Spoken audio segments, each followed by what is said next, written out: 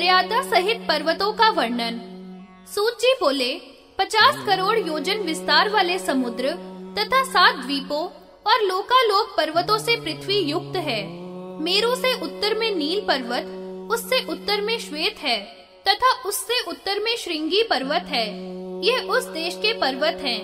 पूर्व दिशा में जठर और देवकूट पर्वत हैं। मेरु से दक्षिण में निषद, उससे दक्षिण में हेमकूट उससे भी दक्षिण में हेमवान है मेरू से पश्चिम में माल्यवान और गंधमादन दो पर्वत हैं। ये पर्वत राज सिद्ध चरणों से सेवित हैं। यह हेमवत नाम का वर्ष भारत के नाम से प्रसिद्ध है मेरू पर्वत के पूर्व में मंदर नाम का पर्वत, दक्षिण में गंधमादन, पश्चिम में विपुल, उत्तर में सुपार्श्व नाम के पर्वत राज हैं।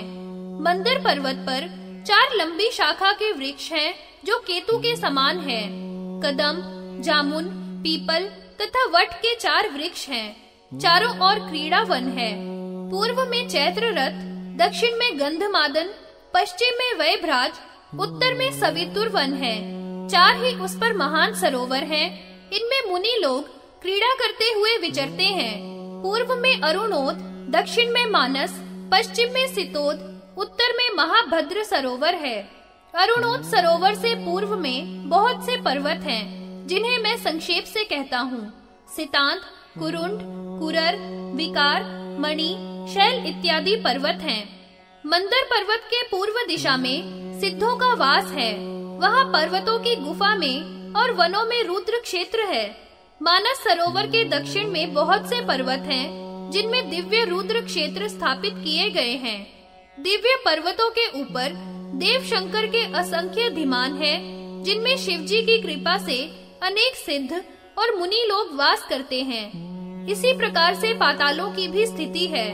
वहाँ भगवान विष्णु की साक्षात मूर्ति, भगवान हलायुध विद्यमान है। वहाँ देव देव की शैया है। पनस वृक्षों के वन में श्री शुक्राचार्य सहित उरग रहते हैं। मनोहर वन में करोड़ों संख्याओं के वृक्ष हैं। वहाँ गणों के साथ नंदीश्वर शिव की स्तुति करते हैं। संतानक स्थली के मध्य में साक्षात देवी सरस्वती रहती है।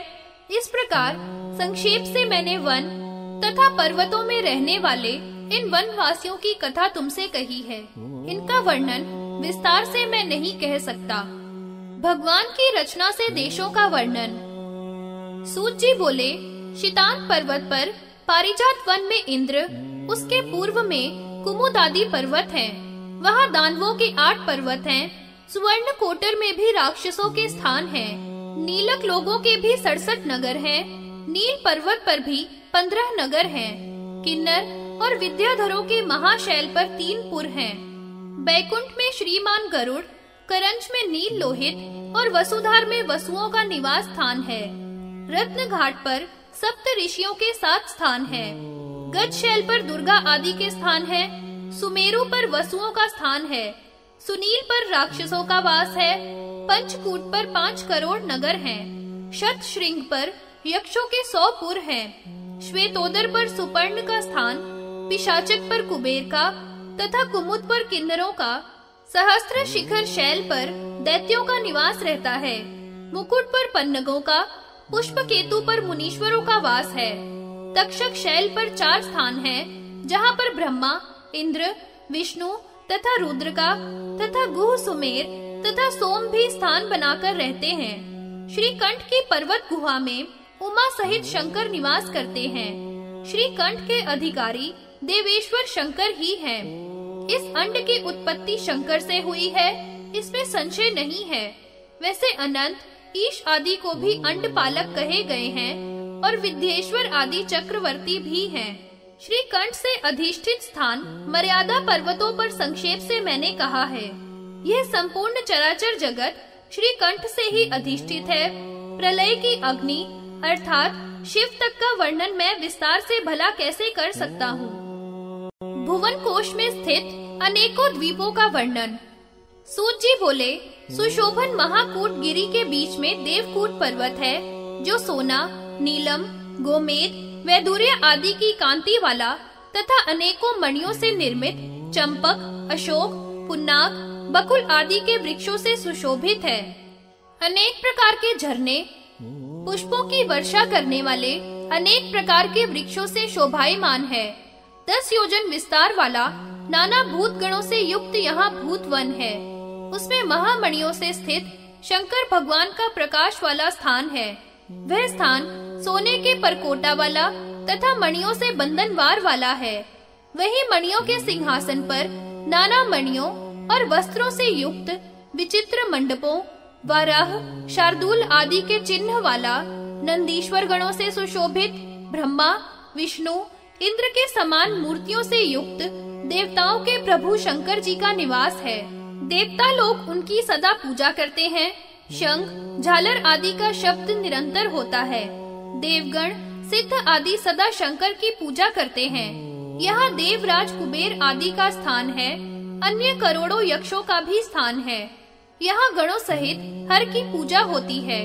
वही मंदाकिनी नाम की नदी है, जिसके सुवर्ण और मणियों के सोपान है। यहाँ जम्बू नदी में पद्म गंध स्पर्श से युक्त नाना प्रकार के कमल खिले हैं। यक्ष, गंधर्व अप्सरा आदि इस नदी का सेवन करते हैं। देव, दानव, यक्ष, किन्नर, गंधर्व इस पवित्र मंदाकिनी के जल का सेवन करते हैं। उस नदी के उत्तर की ओर महादेव जी का सुंदर स्थान है, जो वैदुर्य मणि आदि से संपन्न है। उसमें शंकर जी विराजते हैं। वहाँ गणों सहित, अंबिका सहित शिवजी महाराज क्रीड़ा करते हैं। वहीं पर अनेक महलों से युक्त रुद्रपुरी नाम का नगर है। वहाँ अपने स्वरूप को सैकड़ों प्रकार का बनाकर शंकर जी अंबिका और गणों के साथ क्रीड़ा करते हैं ऐसे शंकर जी के हज़ारों स्थान हैं, जिन्हें शिवालय कहते हैं हे मुनि श्रेष्ठ प्रत्येक द्वीप में पर्वतों पर नदियों के किनारों पर तथा समुद्रों की संधियों पर अनेकों शिवजी के स्थान हैं। भुवन कोश का स्वभाव जी कहने लगे हे ब्राह्मणों मैंने तुमसे बहुत सी जल वाली नदी और सरोवरों को कहा, जो असंख्य हैं। कोई पूर्व मुख वाली, कोई दक्षिण मुख वाली है, जो हर देश में कही है। आकाश रूपी समुद्र में जो सोम कहा है, वह संपूर्ण भूतों का आधार है और देवताओं के लिए अमृत का भंडार है। उससे निकली हुई आकाश की नदी अमृतोदका नाम वाली है। वह ज्योतिषमती है, करोड़ों तट और आकाश से युक्त है। जैसे सोम है, वैसे ही वह दिनों दिन बदलती रहती है। वह चौरासी हज़ार योजन ऊँची है, वह बहुत ऊँचा मेरू है। वहाँ श्री कंठ अम्बा के साथ क्रीड़ा करते हैं। वहीं पर मेरु की परिक्रमा करती हुई पुण्य जल वाली नदी आती है, जो मेरू पर्वत के चारों शिखर पर गिरती हुई महादेव जी की आज्ञा से समुद्र में गिरती है। इससे निकली अनेक नदियाँ सब द्वीपों और पर्वतों में बह रही है। ऐसी नदियाँ असंख्य हैं। गंगा तो अंबर से ही आई है। भद्राशव देश में स्त्री और पुरुष सभी चंद्रमा की सी शक्ल वाले हैं, जो काले आम के रस का भोजन करने वाले हैं और शिवजी की कृपा से दस हज़ार वर्षो तक जीवित रहते हैं। तथा रमणीक देश में जीव वट के फल का भोजन करते हैं। वे ग्यारह हज़ार पाँच सौ वर्ष तक जीवित रहकर शिव का ध्यान करते हैं। कुरु वर्ष में स्वर्ग से आए हुए सभी जीव मैथुन से उत्पन्न होते हैं तथा दूध का भोजन करते हैं। भारत वर्ष में मनुष्य कर्म के अनुसार आयु वाले, नाना वर्ण वाले, छोटे कद के होते हैं, जो सौ वर्ष की आयु वाले हैं। वे अनेक देवों के पूजन में लगे रहते हैं तथा अनेकों प्रकार के कर्मों का फल भोगते हैं। वे सभी कमज़ोर तथा थोड़े भोगी होते हैं। नागद्वीप सौम्य द्वीप वारण द्वीपों में उत्पन्न होने वाले जीव कोई मलेच तथा कोई पुलिंद होते हैं। भारतवर्ष के लोगों की प्रवृत्ति स्वर्ग और अपवर्ग में होती है।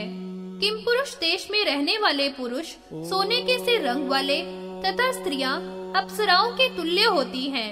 दस हज़ार वर्ष तक जीवित रहती हैं, उन्हें रोग तथा शोक नहीं होता।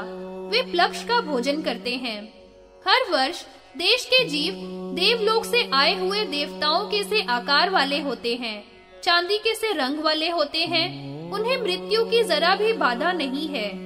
ईक के रस का पान किया करते हैं और शंकर जी की भक्ति में तत्पर रहते हैं।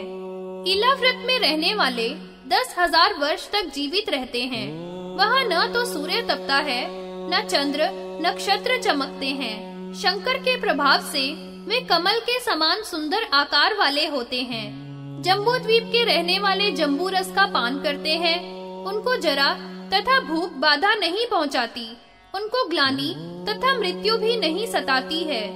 इस प्रकार नौ द्वीपों के रहने वालों के वर्ण, आयु आदि का मैंने संक्षेप से वर्णन किया है। पितरीश्वरों का स्थान श्रृंगवान पर्वत कहा गया है। हिमवान भूतों का, यक्षों का तथा ईश्वर का भी स्थान कहलाता है इसके अलावा सभी पर्वतों पर अम्बा के साथ और गणों के साथ भगवान नील लोहित वास करते हैं ये सभी पर्वत राज जम्बू द्वीप में ही स्थित हैं।